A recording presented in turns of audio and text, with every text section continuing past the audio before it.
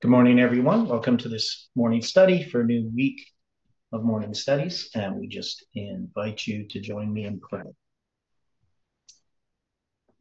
Dear gracious Heavenly Father, we are thankful once again to be able to meet together uh, to open your word and to look at Daniel chapter 11. And we know, Lord, we live in a difficult time.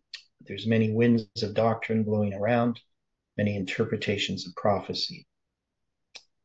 But we know, Lord, that you have led us and are guiding us in understanding your word, and that um, uh, we are to examine your word in the light of, of the past using Miller's rules, and that we need to be corrected, that the message of the Laodiceans applies to us today, and that we need to heed that message and so we invite your spirit to teach and guide each one of us. We ask for your angels' care and protection in our lives, and that you can lead us into all truth. Be with us now, we pray and ask in Jesus' name. Amen. Okay, well, good morning again, everyone. So, um, a few things we need to look at today. And um, we had um, come to, I think, a clearer view of understanding Daniel chapter 11, um, especially when we look at um, verse 6, which we looked at, but really verse 6 to 9, uh, dealing with um, our time. So making an application to our time. And there's some questions that have arisen. So the first one I want to look at is um, the comment on Thursday's video. Um, so the comment there is um, uh, here. I'll, I'll bring it up on the screen, and we'll have to discuss this a little bit. So this is one of the points that we were discussing. Uh, so. So this is from Armageddon 6 6. I'm not sure why he spells Armageddon that way, but um, so he says, I do not agree agree with ye about Daniel 11 verse 5. The best presentation is of Chowatau and Kimberly about all these things. So obviously he means uh, Chowatu and um, so I asked the question, hmm, which means I'm thinking, are you saying that his prince refers to the king of the south's princes um, rather than Alexander, Alexander's princes? And the king of the south, so the way that we understood it, the king of the south, Ptolemy, shall be strong, and one of his, Alexander's princes, which is Seleucid, and he, Seleucid, shall be strong above him, Ptolemy, and have dominion. His dominion shall be a great dominion. Um, so I'm not sure if I got if that's how we understood it. Is that how we understood verse five? Um,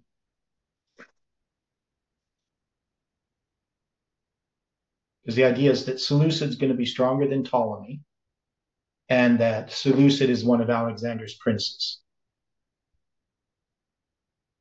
Right? I agree with you that the Seleucid is one of Alexander's princes. Yeah. But in the in the way that that this verse seems to be written, mm-hmm. the king of the of the south shall be strong. That's a statement. Yeah. Is this saying that the king of the south shall be one of Alexander's princes? No. Okay. But then it says, and he shall be strong above him. Right. That's one of Alexander's princes, which is Seleucid. He shall be strong above him, which would be Ptolemy. Okay. So the problem in Hebrew is is the personal pronouns. Who is it referring to? Right? Because it's not like English.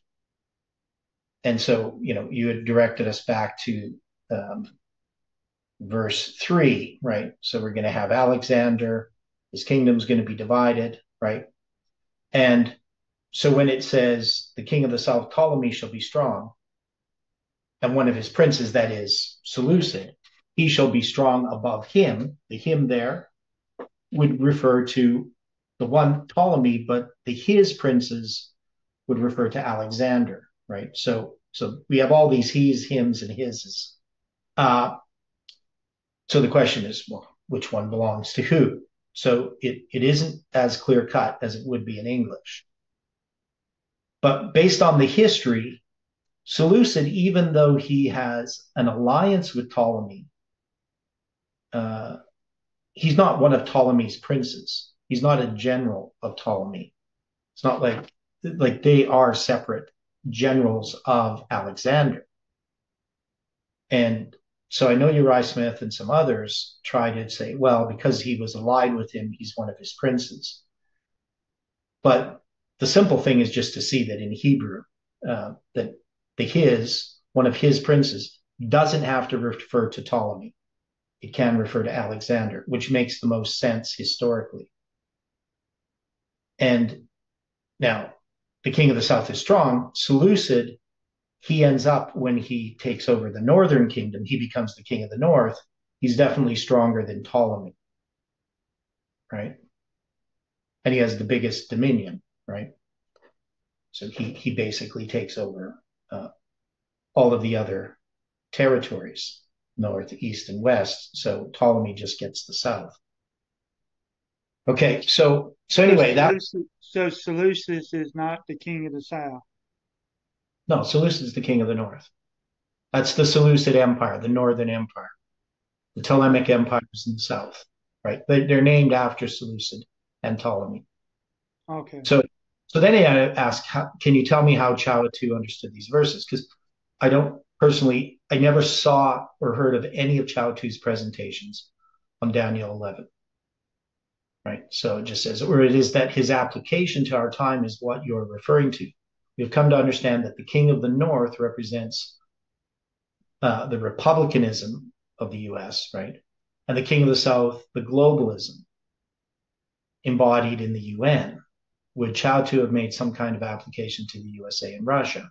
I'm guessing since I do not remember seeing his presentations on Daniel 11. So I'm not sure particularly how Chao Tu understood this. So he's going to say, well, Chao Tu and Kimberly specify that one of his princes, Ptolemy, uh, refers to Seleucus in verse 5 as um, uh, in verse 5, it was just print. I'm not sure what that means. Um, so they're saying that uh, that his princes, that's Ptolemy's princes, right? Which is what Uriah Smith says um, who was helped to reach the northern throne until verse 6 when he was king. So it's obviously the, the alliance between Seleucus and Ptolemy allowed Seleucus to take the northern throne, right? Which is what happened historically. Uh, but that wouldn't make Seleucus one of Ptolemy's princes. But uh, to me, that's not really the important point of here. Then he says, um, uh, and Kimberly have applied the symbols of Daniel 11 in reference to Egypt, France, and USSR. So that is, they're taking, I believe he's meaning the king of the South. But somewhere a rift was created in the transfer of the king of the South from USSR to the UN today. Now, I believe he's using a translation program to to translate from. I'm not sure if it's Romanian. I'm not sure what language he's translating from. Um, but uh, so I'm not sure what he means by rift, but I think that wouldn't be a good translation. But so we see that the king of the south moves from Egypt to France to the USSR and then to the UN, which we would agree. But he says, I still haven't seen three characteristics revolution, civil war, moving the capital, and an official atheist law under globalism. Haven't we seen that?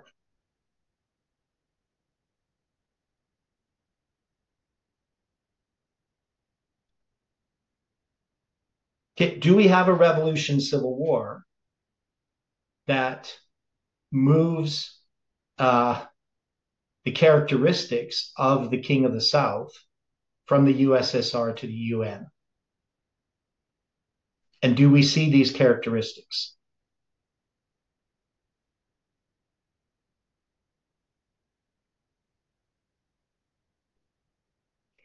I believe we've been addressing these characteristics. Okay. So, was there a revolution in the USSR, the Civil War?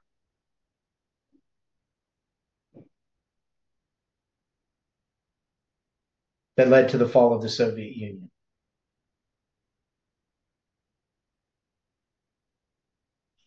There was definitely a change of the guard there, yes. Okay. Now, now the capital is obviously moved because it's in the UN. So, so the capital, where's the UN located? New York. It's in New York. So, so the characteristics of globalism, even though the USSR had those characteristics, they do move from this revolution, civil war, to the United States. Now, do we have an official atheist law? I mean, to describe what an official atheist law is, I don't know if it uh, would what the UN has done uh, have have any parallel to an official atheist law. I mean, I'm not sure exactly what uh, you know what that means. It maybe he means something different, but I would say uh, that we definitely have seen that occur. And if you want to look at it in the context of what has happened with the pandemic, we would have to say that we're under a new form of law ever since 2001, right?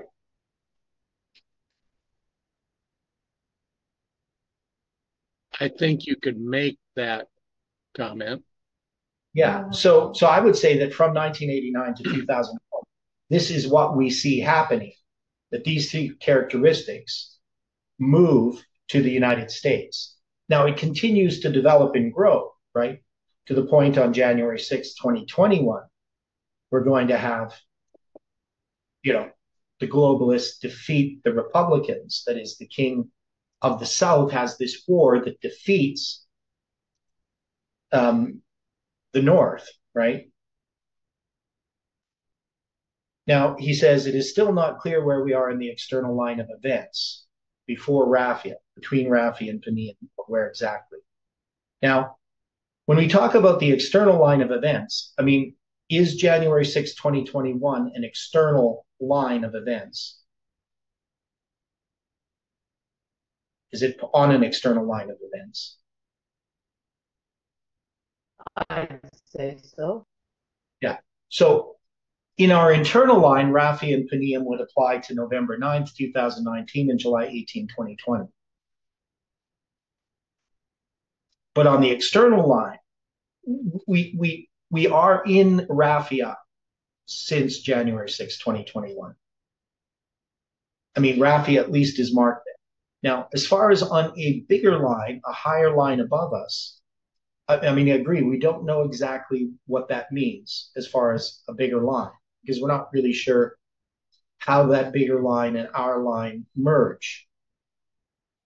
But based on what we understand about the Seven Kings, uh, I would think we'd have to place Raphia at January 6, 2021 on some line. And Panium would be the response uh, to that. Now, then he says your application of globalism only in the US, A, is austere, considering that the pandemic had global implications. Well, I'm not really sure. It's austere. Well, it's he's obviously um, he just would say too severe, but he's translating from another language with a computer program, so it's obviously not a good translation. But it just the idea that it's it's too strict or restrictive but I don't think that we just apply globalism only in the USA. What we're saying is that the US is defeated by the globalists. So the globalists, obviously, during the pandemic, they're they're in control, right? We would have to say that. So so anyway, that's what he says. Now, um, so I, I talk about it um, say I disagree with Uriah Smith, um, that part. So obviously we have, um, since Xerxes typifies Trump, Haman typifies the globalists in the story of Esther.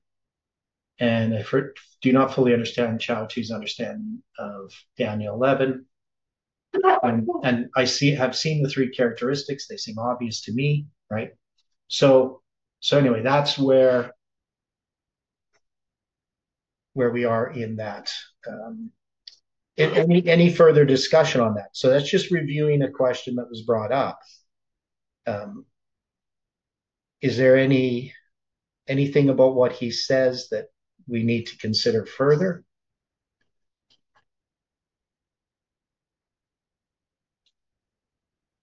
I mean, I'm not just trying to brush it aside. Just trying to clarify what we understand here.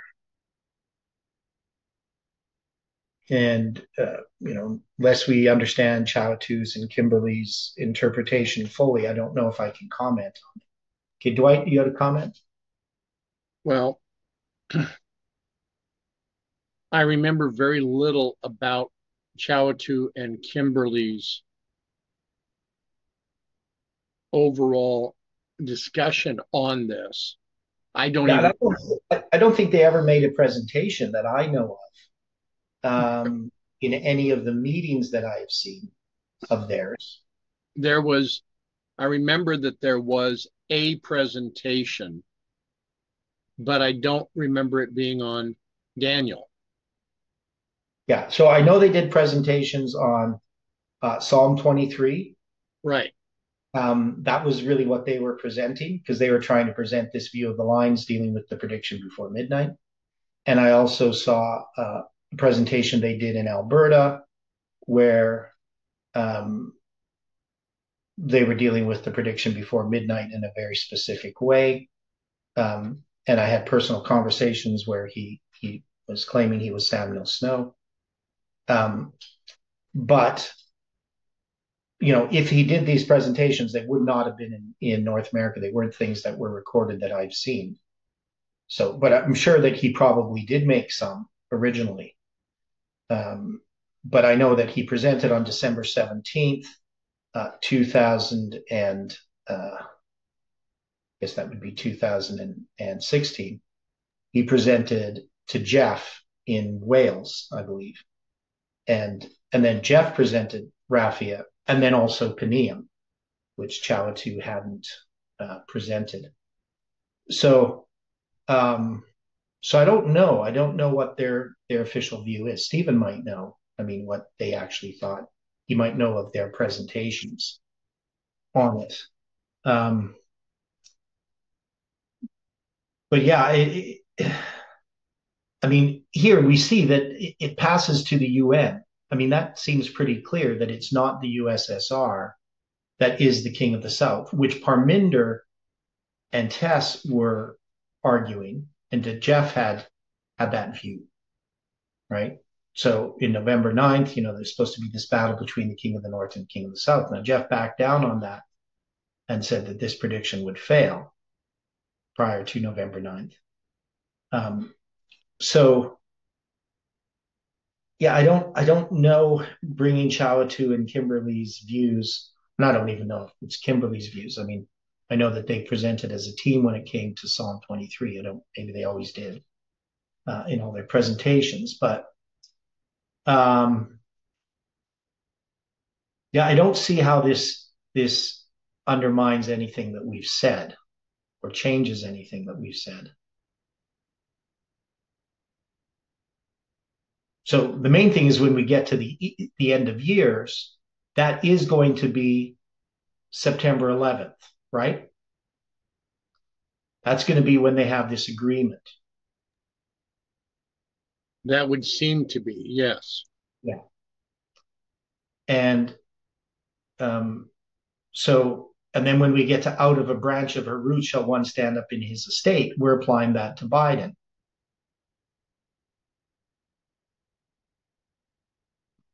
So this has to do with the, the Democrats in defeating the Republicans and Trump specifically, placing Biden on the throne. It's a branch of her roots of this globalism that arises in our time. And then, you know, the, this carrying the captives, this has to do with uh, basically the religion of the United States that's that's taken captive. So the king of the south shall come into his kingdom, shall return into his own land. Um, we're just saying that that is, uh, even though it's a symbol of November 9th, um, you know, we're not saying that that ends in November 9th, 2019. It's just, it ties these verses from 6 to 11 all about basically what's the result of September 11th. It brings us into our history. But but we could say, you know, this is all about September 11th. But but the thing is, out of the branch of her roots shall one stand up in his estate. We saw that our line brought this to January 20th, uh, 2021, right? So it's in that history from November 9th to December 25th, 2021, that we have this, that we have Biden rise up.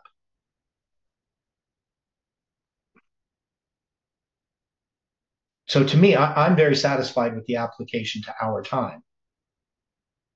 You know, maybe it's just because I did it, you know, like with your co-op, with your participation, but it, to me, it makes sense.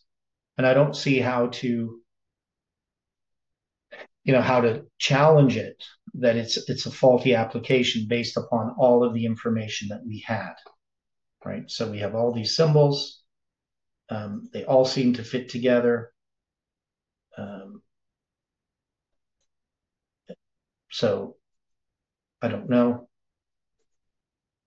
placing biden as the sixth so this is where we want to get to the next thing um, so the next thing we need to look at just to review this has to do with Jeff's number 10 of Elijah. So we're going to look at that. And I'll share the screen here.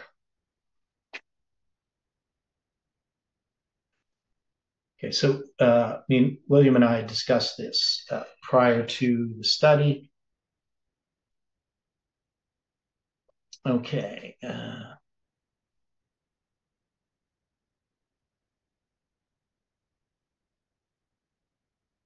me see, it kind of lost this here. Okay.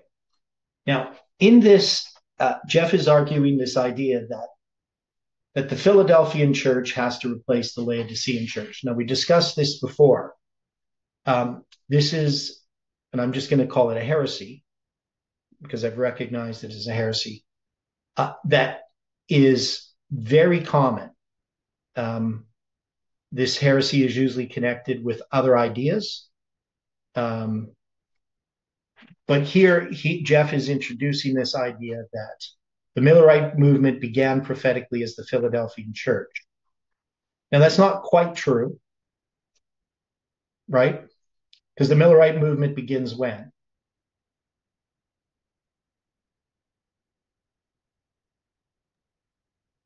Roughly begins about 1833. Yeah, so we're going to begin it with Miller, and in that time he's still the Church of Sardis right?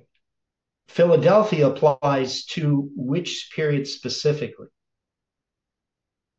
I would think 1840 to 1844. Yeah, so 1840 to 1844. So we'd say August 11th, 1840, you know, at least that if we wanted to specify a specific date, um, to October 22, 1844. So that's going to be the Philadelphian church. Now, now we know it's going to be in 1856 that we have the Laodicean Church, you know, officially recognized by James the White that the Adventist Church had become the Laodicean Church. But we they actually did apply it earlier uh, to the Millerite movement, correct?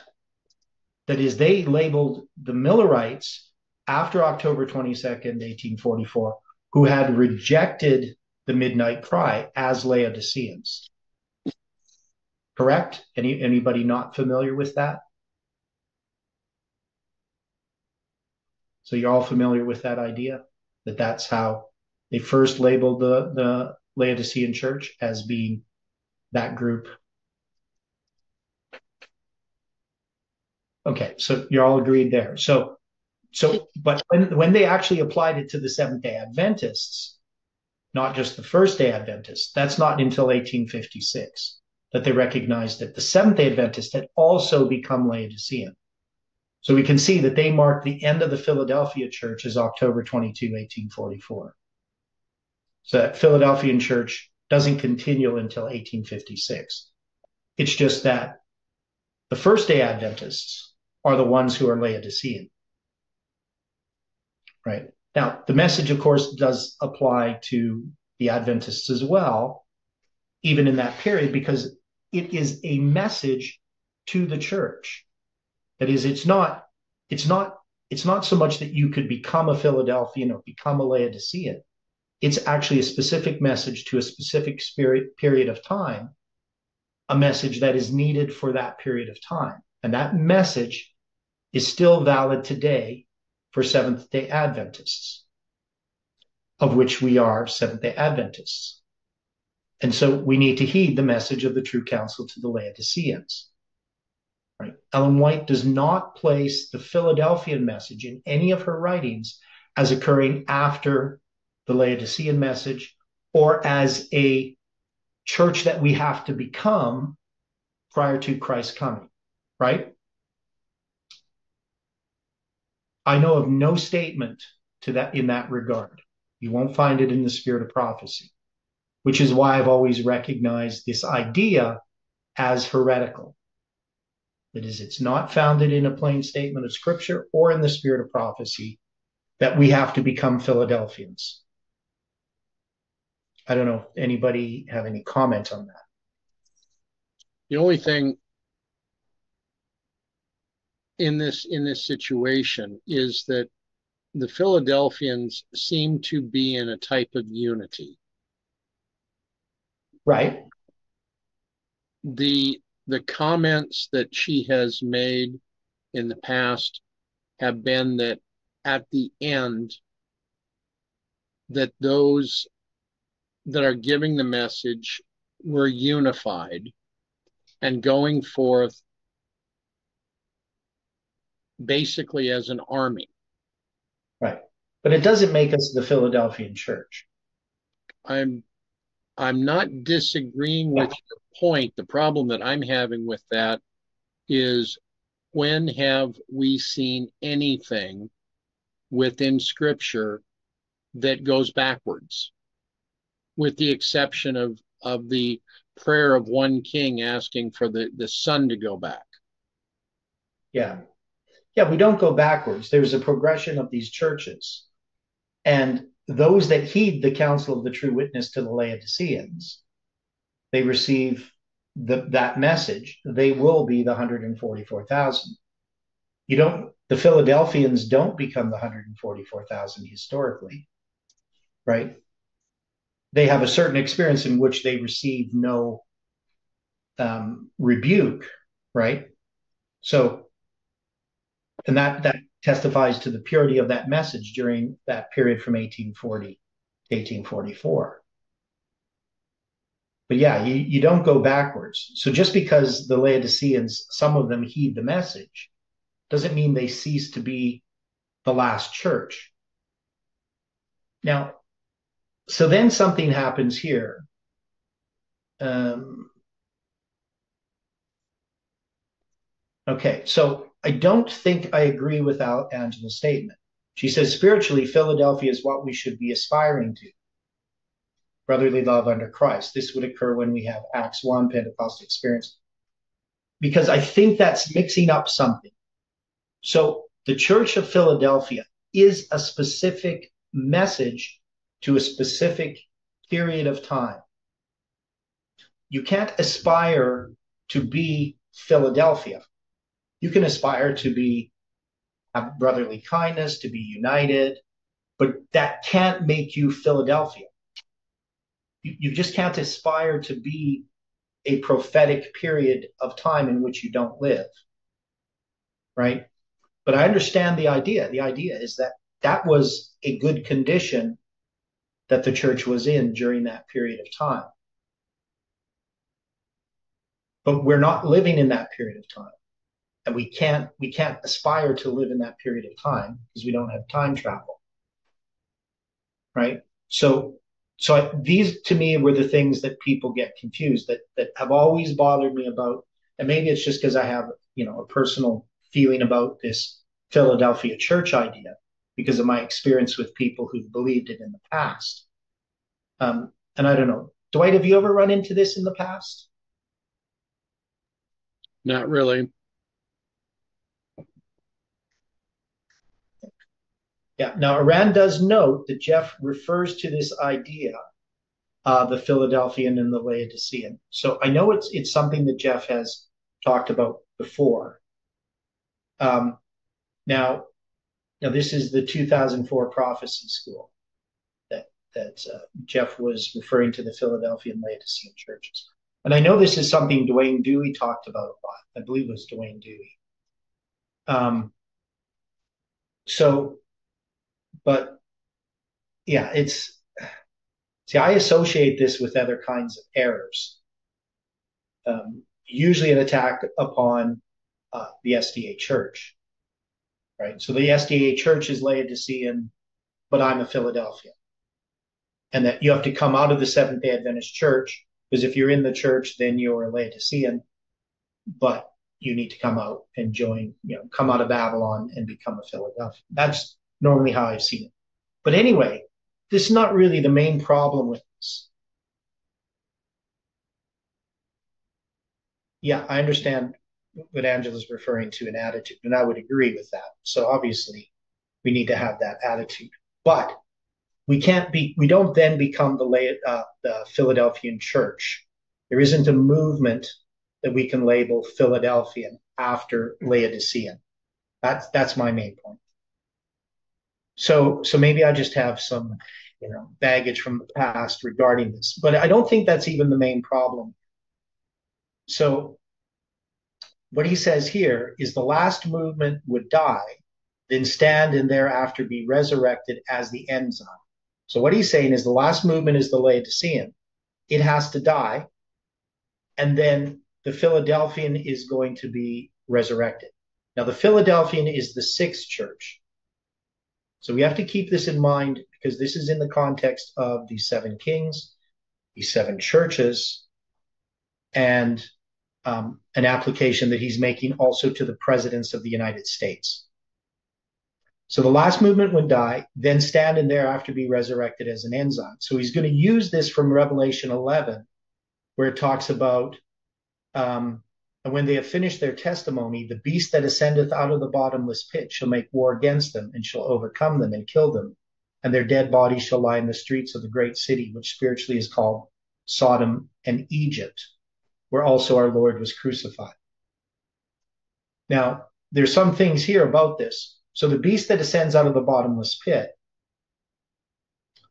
um, this is during the French Revolution, as we know. So this is an atheistic power. Um, and this is the Old and New Testament. Their dead bodies shall lie in the street of the great city, which is spiritually called Sodom and Egypt. This is France, right? So he's now going to apply this to um, to the um, these uh, churches, right? Now he says the Republican horn forms, forms an image to the beast, and the beast that it forms the image to, of is addressed in Revelation 17. And that beast is identified as the fifth head that received a deadly wound. Right? So we have the fifth head receiving a deadly wound. That would be resurrected as the eighth head. It would be resurrected as the eighth that was of the seven. Now, of course, we see that, that that's actually not what the verse is saying, that the seventh king is actually the papacy, not the eighth. Right, as far as, um, or pardon me, yeah, the eighth is the papacy, but it's not one of the heads, right? It's not, um, how do we do this? Um, I'm getting mixed up. So when we looked at the kings, right, the kings are presidents of the United States, not these kingdoms. And the papacy is the eighth, and its place there comes from the seven. It comes from the seven. So the seven is the United States, which is going to form an image to the beast. But the eighth is the beast that thou sawest was and is not, even he is the eighth, right? So, about the eighth here, is the eighth one of the presidents of the United States?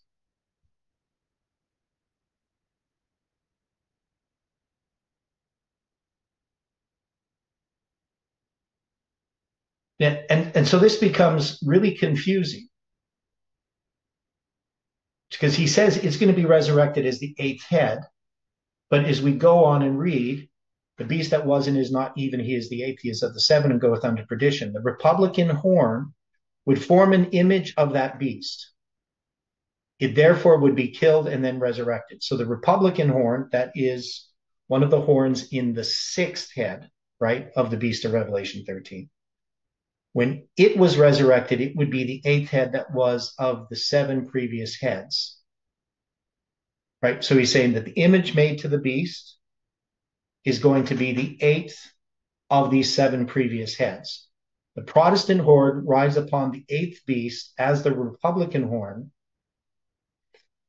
and would need to possess the same prophetic dynamics. The transition from Philadelphia to Laodicea in the Millerite movement prefigures the transition from Laodicea to Philadelphia in the last movement.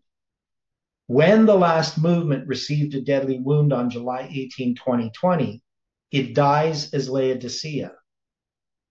When, as represented in Revelation 11, it transitioned to Philadelphia, it would represent the eighth church that is of the seven the death in the year 2020 was paralleled by the Republican horn, for since the time of the end in 1989, there had been six presidents. The sixth president received a deadly wound that will be healed in 2024. That head will then be the eighth head of the United States since the time of the end in 1989, and it will be of the seven. Both horns were the sixth that becomes the eighth. This truth is a large part of the message of revelation of Jesus Christ that is unsealed before the close of probation. Now, can somebody make sense out of any of this for me?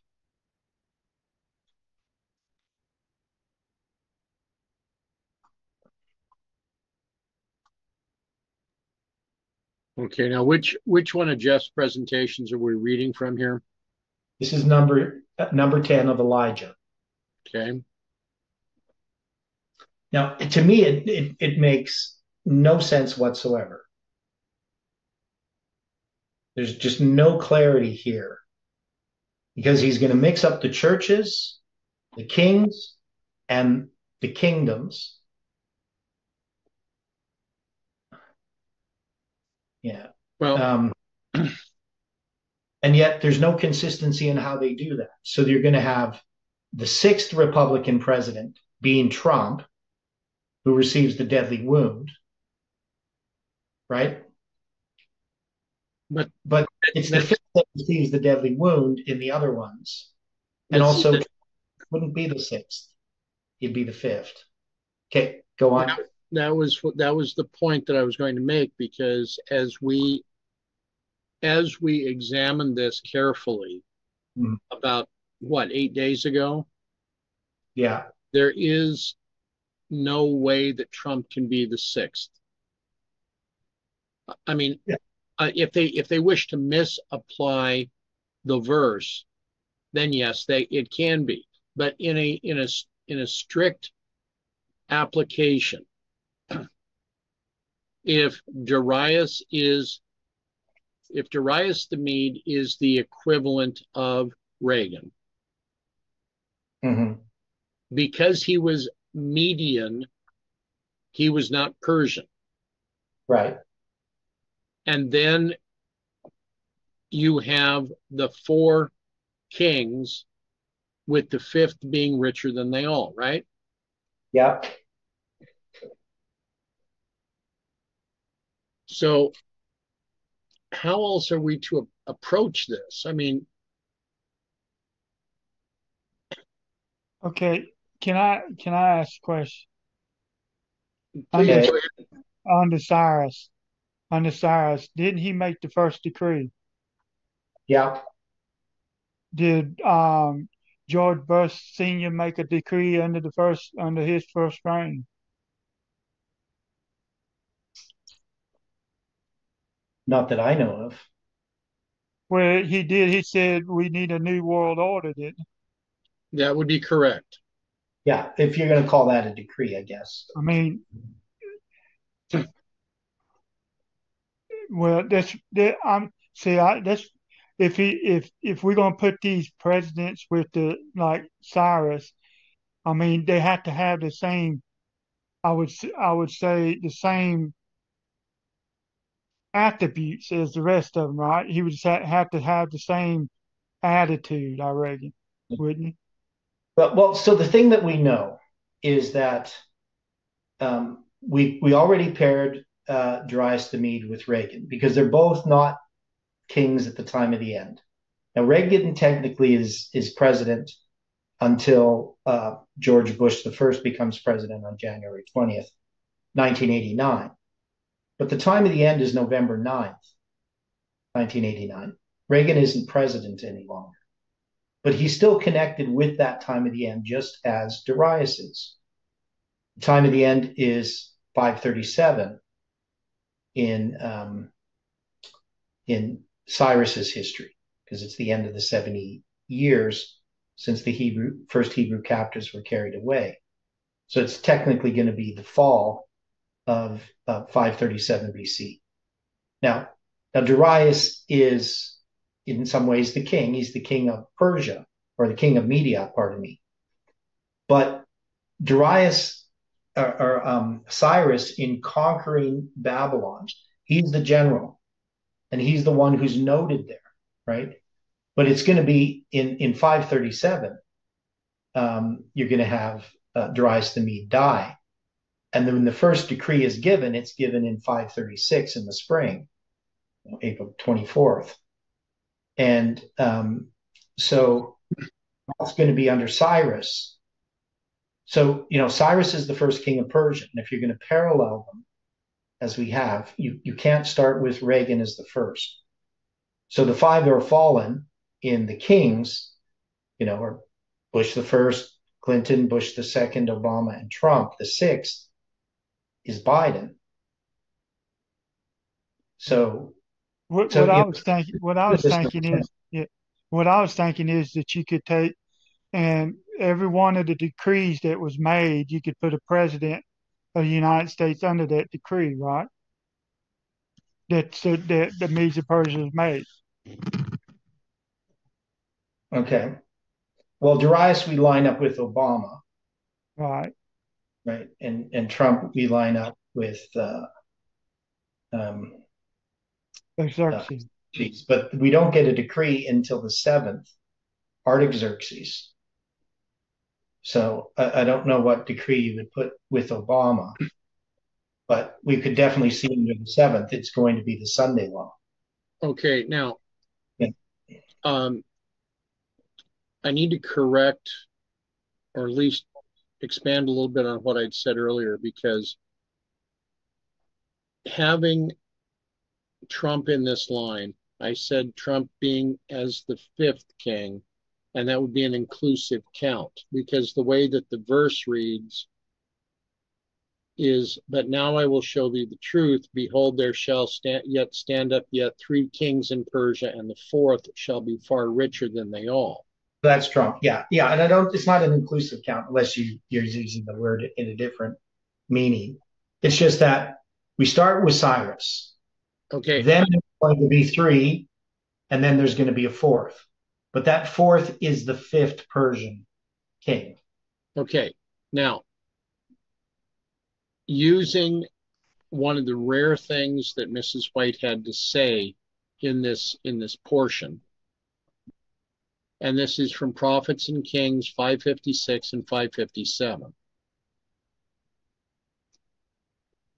We are able to establish that, as we see in verse 1, that Daniel's prayer had been offered in the first year of Darius, the Median monarch whose general Cyrus had wrested from Babylonia the scepter of universal rule. Yeah. Now, Darius being typified by Reagan or Reagan being typified by Darius. Okay, thank you. Yes. Had stood up and given several speeches, one of which very famously was Mr. Gorbachev, tear down this wall. Right. Yeah, so we can see it's under under Reagan that we're going to have that the beginnings of all the things that are going to transpire in 1989 are because of Reagan. Right. Now, that's why we line them up with Darius. Okay. Now, we recognize that upon his death, about two years after the fall of Babylon, Cyrus succeeded to the throne, and the beginning of his reign marked the completion of the 70 years since the first company of Hebrews had been taken by Nebuchadnezzar from their Judean home to Babylon. Now, under George H.W. Bush, we also have the speech that Brother William was referring to about the New World Order. Yeah. So, all of this can be lined up with what we have been seeing occurring with some of these different presidents. Mm-hmm. Yeah. And, and so we can also look at the fact that um, the vice president of Reagan, I just looked it up, you can see, watch me look it up, right. was uh, George Bush. HW, yeah. The senior right? So he was the vice president. And so once Reagan, you know, his term was up, his two terms, um, then they had an election. And uh, I can't remember who he run against, but, you know, he ends up being the next president. So there's that parallel there with uh, Darius the Mede and Cyrus. But if we're going to do the count of the seven the seven kings of Persia and we're going to parallel it with the seven presidents, it makes Biden the sixth. But even then, the problem is the inconsistency within this argument. So we have, of course, we know that the 10 kings refers to the presidents of the United, or the seven kings refers to the presidents of the United States. The eighth is not one of the kings because it's the beast that thou sawest that was and is not. Even he is the eighth right? So the eighth is not one of the presidents, right? It's not one of the kings, which is, is what Colin has been arguing.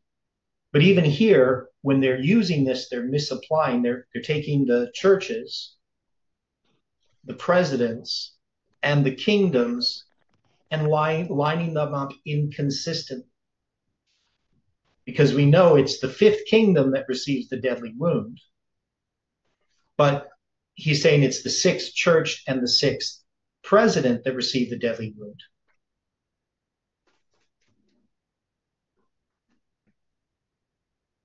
Right? So that, that doesn't make sense. It needs to be the fifth that receives the deadly wound. And definitely to try to make an application of these to the churches, um, we have no support for the idea that there is a resurrection of one of the churches in the way that, that this is trying to be done. And if it would be, it wouldn't be the sixth. It Would, if you're going to parallel them, it would have to be the fifth church. You know, Sardis, in which there would be a resurrection. It, it just, to me, this is just sloppiness. It, it doesn't make any sense. So, you know, and again, you know, we know that this is purportedly Jeff is writing this.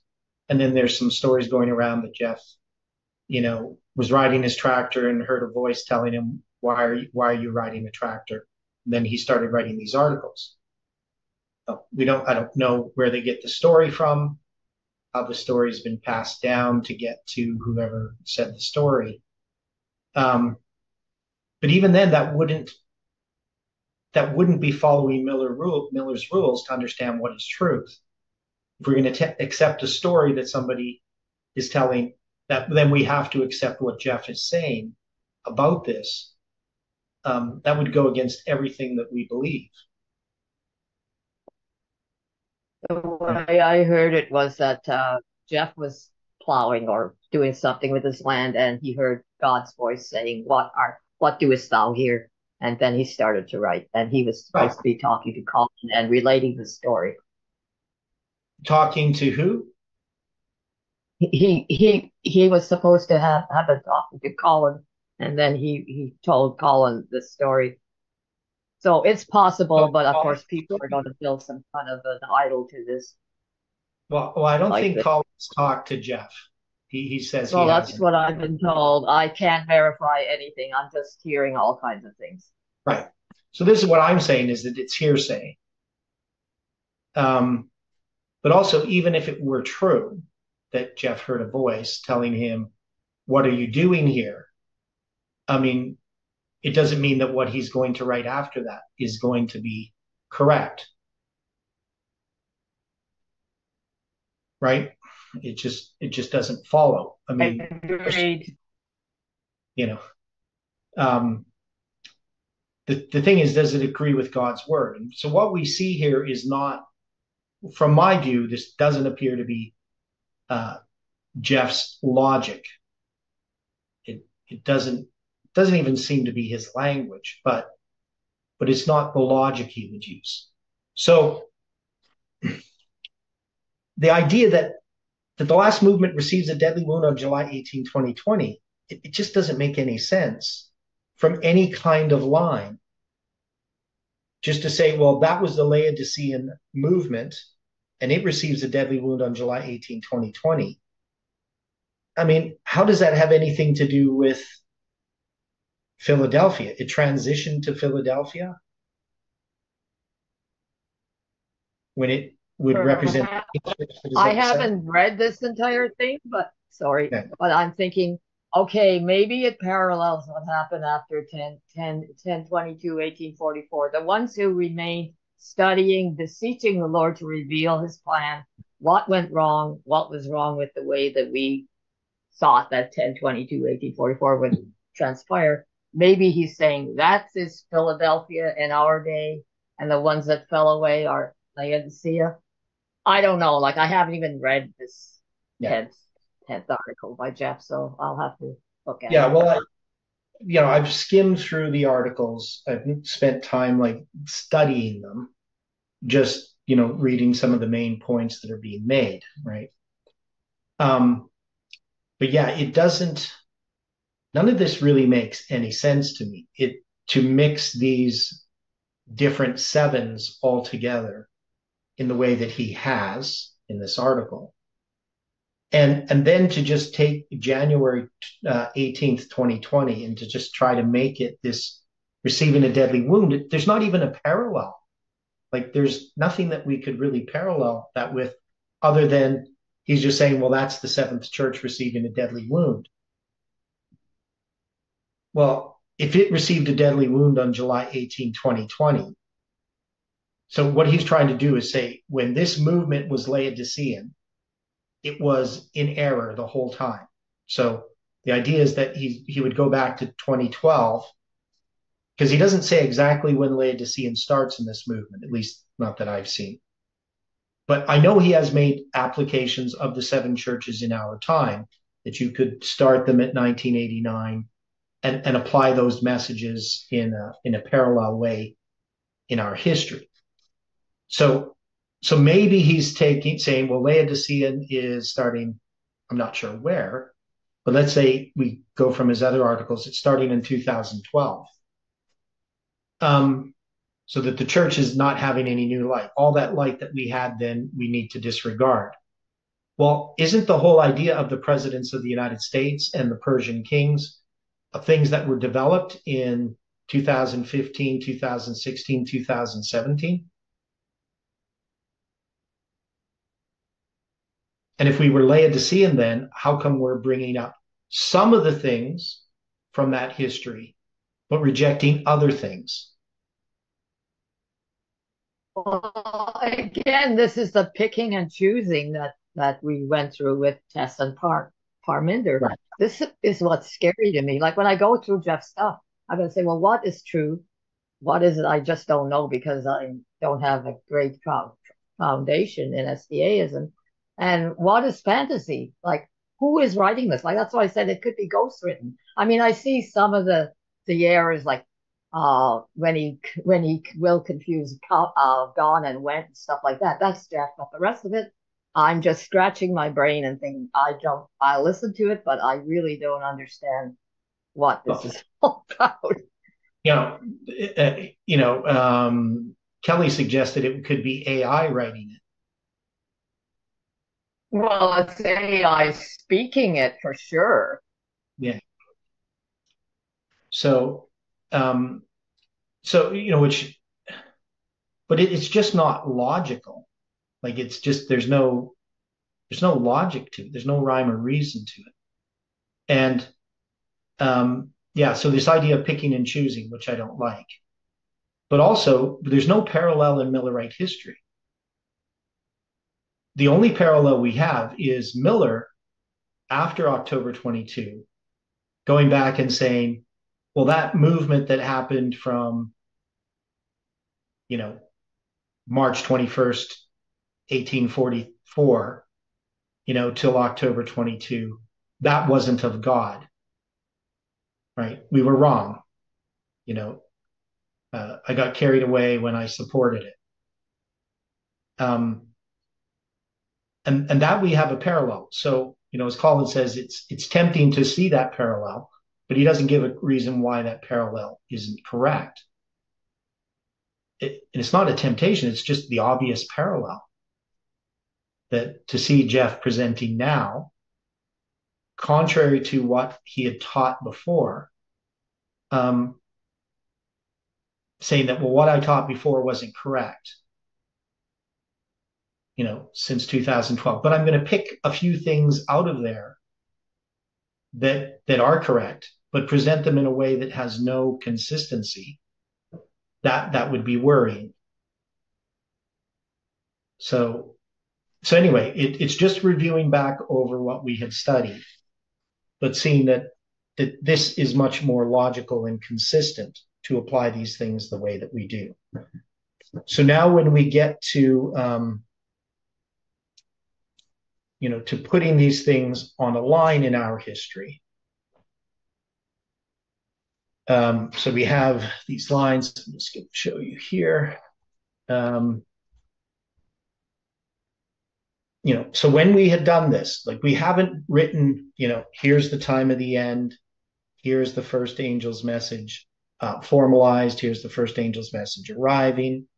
But I think we could easily do that with this line. I could probably write it out in a bit cleaner way. But uh, we can see that there is a period of darkness that's well defined. That's going to be the 191 years. And that's going to be completed on February 15th, 1989. And then there's 276 days. Now, um, these 276 days, uh, we dealt with them uh, in in what way? How did we address the 276 days that lead to November 9th, 1989?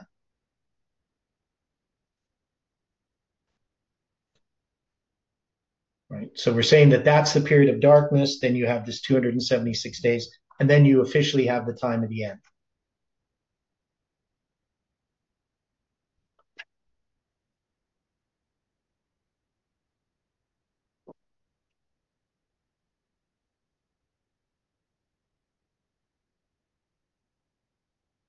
So what does 276 represent?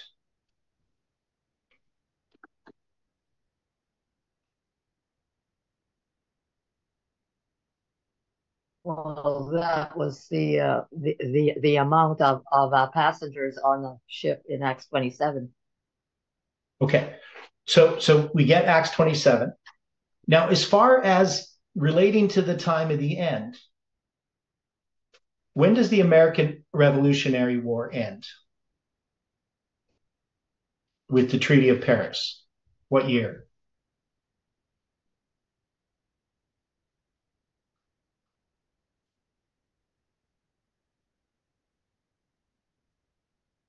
Anybody know? Dwight, do you know? I believe it was more like 1789, but I'd have to look it up. 1783. Okay. So you're going to have uh, the American Revolution officially ended in 1783. Um, the 276th prime number is 1783. Interesting. Yeah. So that gives us that period of time there that that we have before the time of the end. So we mark November 9th, 1989 as the time of the end. Did you say it was the 276th prime? 70, 276th prime number. Now, that's that's the number of days we have there, 276. So if I look at the 276th prime, it's 1783. How many people were on the ship with Paul total? Well, 276. Yeah. yeah. So we, we relate it to that. And we can also, because Angela mentioned that. Okay, go on. No, I just I just asked that question. Yeah, so so we can relate it to that symbol in Acts uh, chapter uh, 27, right? Right. Okay, so it's it's tied to that symbol. But we also can tie it to that period of time from the end of the revolution to 1798. Right? Okay. Right. So that means we can take this February 15th, 1989 to November 9th, 1989, and it's connecting that same sort of symbol. There, it's going to be a period of 15 years, um, right, from 83 to 98. But uh, so I, I know it, to some people that's a bit obscure, but to see that this 276 prime number is 1783 does tie it together in this way because we've already made this parallel between the time of the end in 1798 with November 9th, 1989. But this period of time here, 276 days from the end of that uh, um, um, proxy war in Afghanistan gives us that that symbol of that that period of time from the end of the revolution to um, 1798. So so it ties those all together is what I'm trying to say.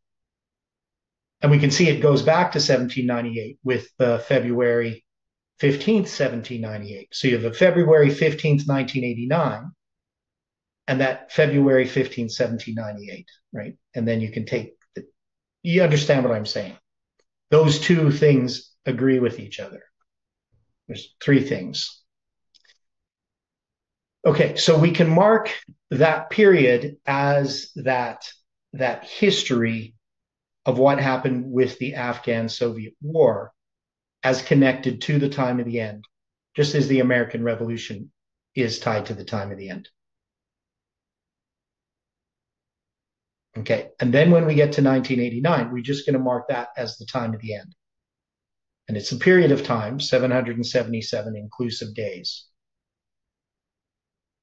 So in this line um, of these, of Daniel chapter 11, verses 3 to 9, um, would September 11th, 2001 be a formalization in this case, in this line particular. That's a possibility. Okay. So if it's a formalization, it's a formalization of a message, right? And that message is relating to the, the dissolution of Alexander's kingdom. And this is going to be the agreement, right? So that's going to start on September 11th. We have this agreement that's made. In our history, we look at it with two different ways. We have the internal dealing with the Adventist church and accepting spiritual formation. And then with the United States, uh, the Patriot Act right? Which goes from common law to Roman law. So there's a formalization there. There's documents that we would connect with 2001. Now, an empowerment of that, um, how would that be empowered in that line?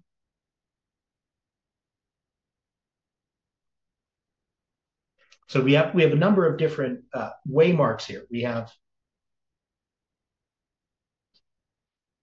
you know, we kind of have nine waymarks. So not not all of them are okay. So Angela says something here. Just look at look at that.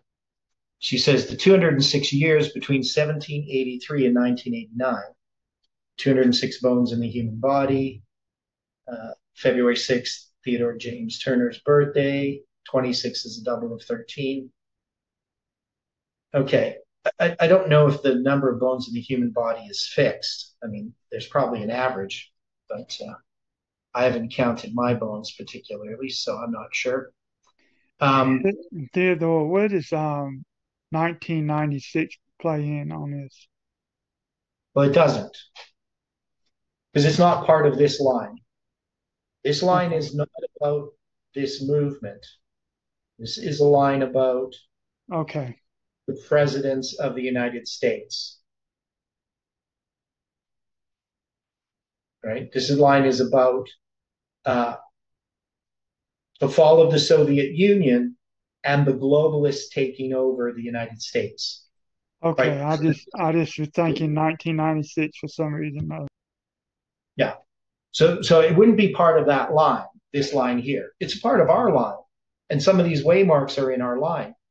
But this line is specifically addressing the fall of the Soviet Union, and that means that the, the characteristics of the King of the South he shall do according to his own will. All of those characteristics, which are also papal characteristics, but that happened with Alexander's kingdom. Um, 1963 plus 26 is 1989. Okay. Um, those things are moving. That is, the globalists, the Soviet Union falls, but the Soviet Union, as this atheist globalistic power, its characteristics are going to pass to the UN, and the UN, the globalists, are going to conquer the United States. That's what this line is about. So we can see September 11th would be a formalization of it. The question is, where is that empowered? Now we have the next waymarks are we have a January 20th, 2011. Nothing happens on that date. But we do have Trump's election on November 9th, 2016.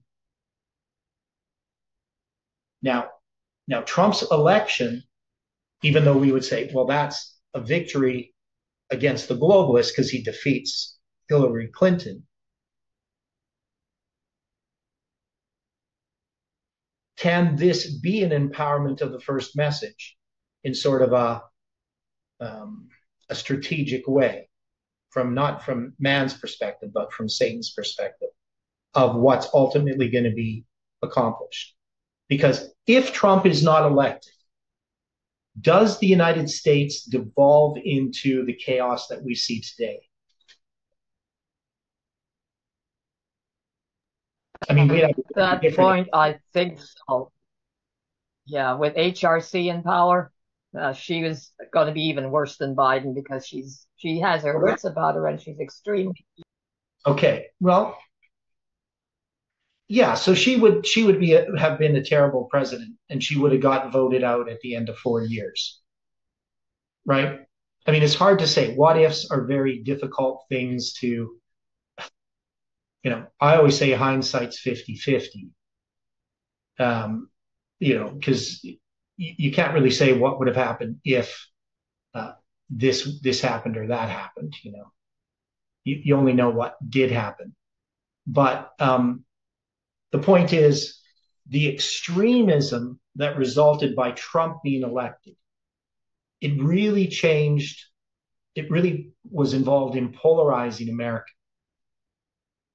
Now, it's kind of hard to say what if. I mean, but the election was pretty close. And if the Democrats had just, you know, employed dead Republicans in voting in that year um, a little more vigorously. You know, they could have been in power, but there they would be in power, and there really wouldn't have been anyone to stop them. But their plans are not to just change everything suddenly. They have a lot of rhetoric, and and over time they would have changed things, but it wouldn't have been as drastic. So all of the things that happened by Trump being elected, it really sped things up I believe, rather than slowing things down because it, it created much more polarization. But that's just my opinion, right? But but we could say anyway that Trump being elected would fit as the empowerment of that message, right? I'm just going to borrow these uh, tags here.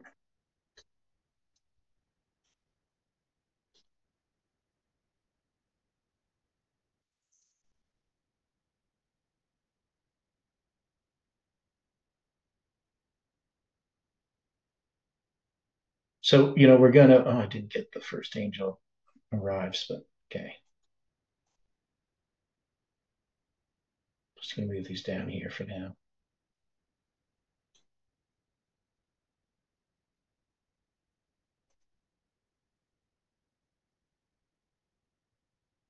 Just so we can see them easier.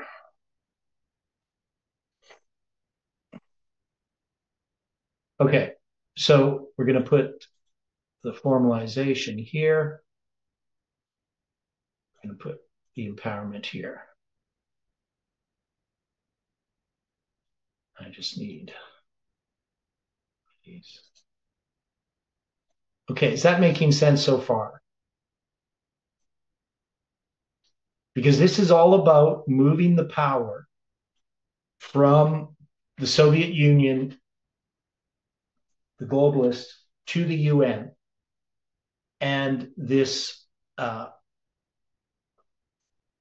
uh, agreement between the United States and the Soviet Union. Now, and one of the things that you know that that I have, um, you know, I am a conspiracy theorist. This is a confession here.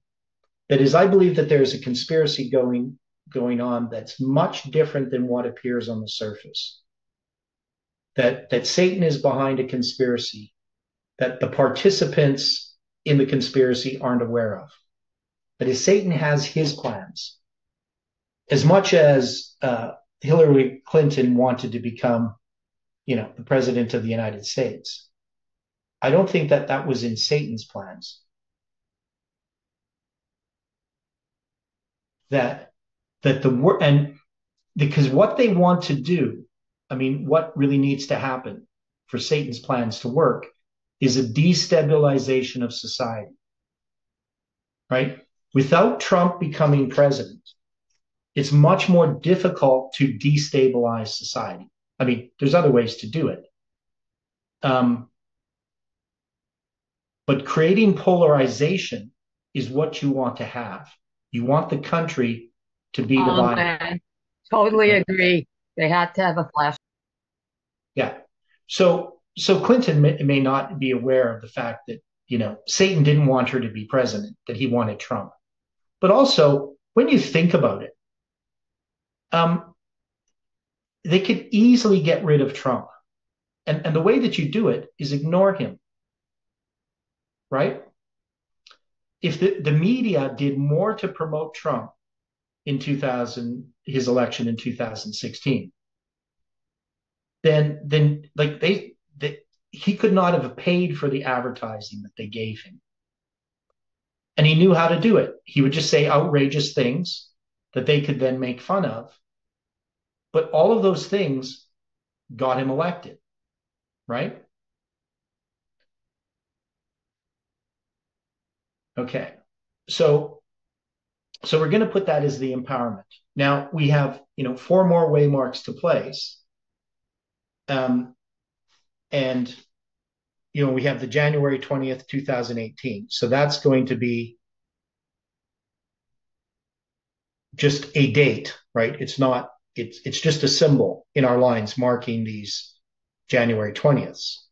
These are almost like echoes, pre-echoes of of the January 20th, 2021. But we could put that the second angel arrives here, November 9th, 2019. Now, now, particularly on November 9th, we're not we're not marking some specific event in in American history, so to speak. But we do have, in connection with this history, we have the start of the pandemic. Right? So if this is a message that's arriving, that's uh, arriving in 2019, COVID 19, right? How would that be a second angel's message arriving?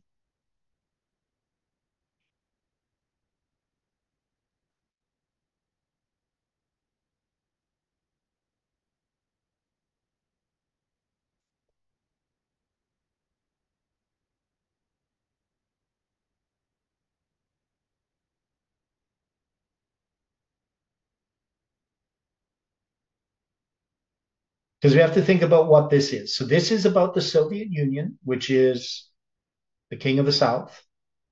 It's dissolution, it's globalism, and it's going to move to this period in history in which uh, the pandemic is going to be put in place. Oh, I can see in Revelation 14 8, it says, She made all nations drink of the wine of the wrath of her fornication. Well, this so-called pandemic went worldwide. Yeah. So definitely it's a globalist thing, right? You know, by the very nature of a pandemic. And um, and that that the UN had a huge role in declaring the pandemic and and the, all the actions that happened with it. So just from a prophetic symbol, whether whatever one thinks about the pandemic is is immaterial, just as a prophetic symbol, it would place the arrival of a second angel's message in that history. Now, the other option would be just to say, well, we would move the empowerment of the first angel. But because in some ways it's it it is kind of like an empowerment of the first angel. But remember, in our lines are the empowerment of the first angel and the or and the arrival of the second the same way mark. We've seen this many times in the book of Judges. Is November 9th, 2016 connected to November 9th, 2019?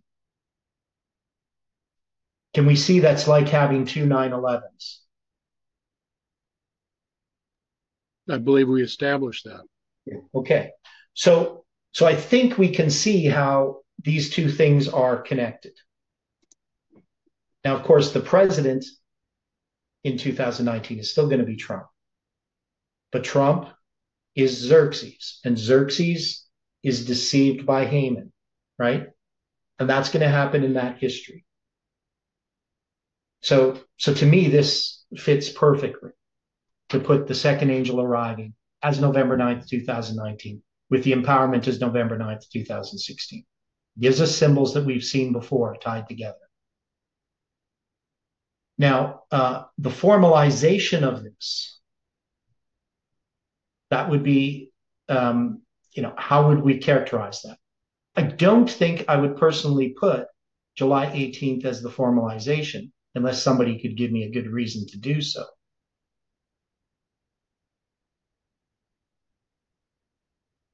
I'd have to think about that. Um, but I definitely could see uh, Biden coming into office as a formalization of this, right?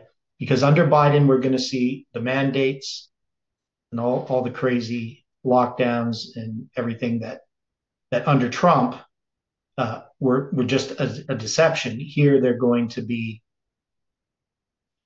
continually promoted um, in that history. So we're going to have, uh, and even prior to Biden's being inaugurated, of course, uh, uh, we're going to see um, well, anyway, we'll just leave it there. We'll just put his inauguration because I'm not sure about some of the things. Um, so we have this this pandemic in this history. Now, now, when do the first vaccines get issued? That's going to be when? That's going to be like at the end of 2021. No. No, when? There, there were some that were coming out in between July 18th of 2020 and January 20th. Okay, in that period there was? Okay. Yeah. I'm just I'm always trying to remember. I think you you could be correct. Um, yeah, my my landlord got his first job in March of 2021. so mm-hmm. they were up before that. Yeah, I mean, I had uh, COVID 19 in November of of 2020. So um, so I'm trying to see this here. Uh, just no, I think I think you guys are wrong here. The the first vaccine is approved um, August 23rd, 2021 i think you guys are moving this. No, I recall because I had my stroke because of okay. betting. no, okay, I'm reading this wrong. It says since December 21 to December 11, 2020, uh, the COVID 19 vaccine has been available under EUA to individuals 16 years of age and older. So I'm just reading a, a press release from later about uh, updating vaccines. So it's December 11th. That's going to be the first one that's approved. Uh, I might find in something else here. Uh, let me see Wikipedia what they say. Um,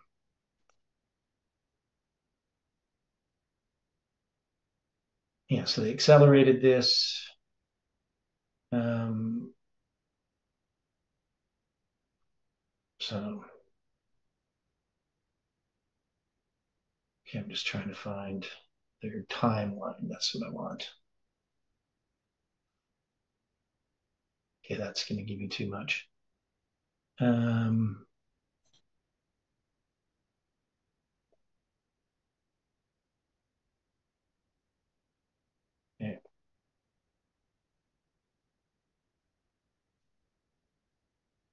Anyways, yeah, it's going to be in in the end of December, but that's going to be you know Trump is still technically president. He's lost the election. Um, but it's in that history that we're going to see that happening. So I'm just saying, in this broadest sense, Biden coming into power uh, allows these things to be pushed in the way that they were. And so we're just going to put January 20th, 2021. So it's it's in that history. So I'm saying that's a formalization. Um, of that second angel. So this is um, dealing with the pandemic. And then we're going to have an empowerment. Now, you know, so, I mean, we just have a couple of waymarks here. So I'm just going to put these here because those are the waymarks we have. And we have December 25th, 2023. Now, we don't have any event for December 25th, 2023. And and so probably, you know, some people might want to move the formalization over to July 18th, the empowerment over to January 20th. That might make more sense to them uh, because that's where we're going to have the vaccines. But we don't know what December 25th, 2023 is. Um, and then we we have January 20th, 2025. That's going to be um, a third message arriving, and that's going to be, of course, uh, the inauguration of the next president. So I'm just going to leave it at that. I'm not certain about the end of this part of it, but we can see that this still represents a line, however we wanted to do this. I mean, what somebody could do is just say, this is the formalization right, in this period, and that, you know, this is the empowerment itself, and that, you know, this is going to be the arrival of the third message. You know, we could put it over here, you know, however we wanted to do it. But I don't have an answer for that yet. Like, I don't know. I don't have any certainty about how to place these. But but we can say that these do represent a line. That's logical, and that this is leading to, and you know, what we could put in here. Uh, you know, we could have put maybe uh, January 6, 2020, 20, 2021, January 6, 2021. We don't have it in this line. We just kind of group January 20th, 2021 all together. But this is when that, if, you know, whether we could have a different line where we specify some of these dates. We definitely can put it in that history anyway. So maybe that formalization is the time of of the pandemic where uh, everything's kind of locked down. Now that's going to start like March 27th in, in March of 2020. So March, April, May, June, July. So that's four months later. March the 17th. I, I remember distinctly. Yeah. Uh, what well, was 391? For us, here it was March 27th. For us here in Alberta, it was March 27th that we had. Oh, BC was 7, March 17th. What is 391E? Um, that just means inclusive. So from December oh, 20, could be I then. No, ex- exclusive, pardon me. I, I could just put 391.5 like that. If I counted from noon December 25th, 2023 to the beginning of January 20th, 2025, it'd be 391.5 days. So, so I was just putting exclusive, right? Not inclusive, but exclusive. But anyway, it's because it's 391 and two days if you go from like midnight to midnight or noon to noon or think. Maybe it's i can't remember. Anyway that i had exclusive there. Yeah i think you could do that. It's 392 days if you count from midnight to midnight. So if i if we count from the end of december 25th to the beginning of January 20th, 391. If I count from noon December 25th, it'll be 391 and a half to the beginning midnight of January 20th, 2025. You know, I could count sunset December 25th. You know, there's different ways to count it, but we have that symbol of 391 or 391.5.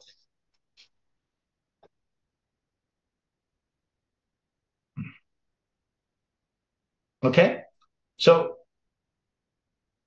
I think um, like tomorrow, I, I just want to move on through Daniel chapter 11. Obviously, we'll refer back to some of these things, but we, we needed to tie up some of these loose ends.